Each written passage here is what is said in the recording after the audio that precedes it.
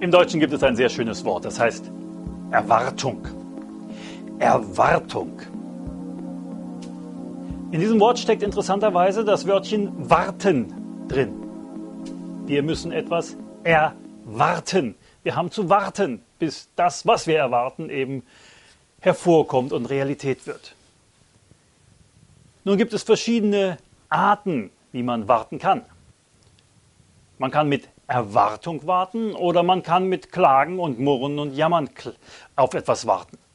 Beispielsweise das Volk Israel in der Wüste, das hat geklagt und es hat das, was es erwartet hatte, negativ ausgesprochen, hat sich zurückgesehnt in das, äh, wo sie früher einmal gewesen sind und letztlich sind sie in das Eigentliche, was Gott für sie hatte, nicht hineingekommen.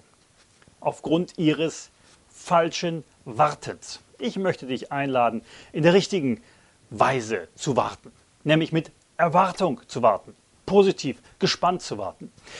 Denk beispielsweise mal an ein Kind in der Weihnachtszeit, in der Vorweihnachtszeit. Das wartet in der richtigen Weise. Da ist Spannung, da ist Unruhe, da ist diese Erwartung. Aber es weiß, da kommt etwas super Gutes, Geniales. Das Ganze lohnt sich. Es gibt etwas. Und diese Spannung, die da drin steckt, die ist eigentlich voller Vorfreude. Da ist diese Vorfreude drin, weil man weiß, da wird etwas Gutes kommen. Und genauso haben die Jünger im Obersaal gewartet. Sie wussten, da ist etwas verheißen von Gott, genial, es wird kommen. Und wir warten und warten und es wird kommen. Und genauso sollst auch du warten. Du sollst warten, dass das, was Gott dir verheißen hat, Realität wird. Da kommt etwas Gutes.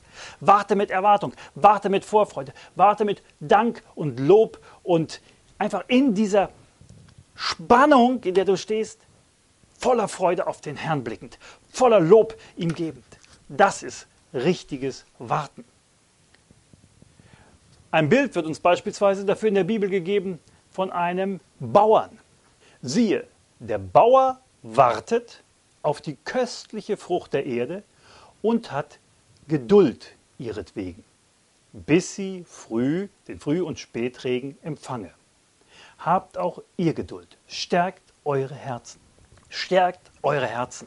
Das heißt, richtet euren Blick auf das Richtige, richtet auf das, was kommt. Schaut nicht auf das, was momentan da ist, sondern erwartet das, was Gott euch verheißen hat.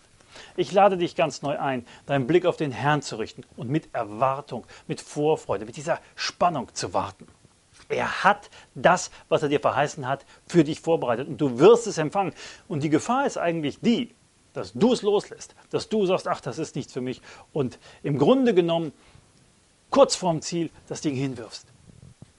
Das lass nicht bei dir gelten, sondern bleib dran, halte fest, erwarte, dass der Herr das, was er für dich hat, wirklich hervorbringt.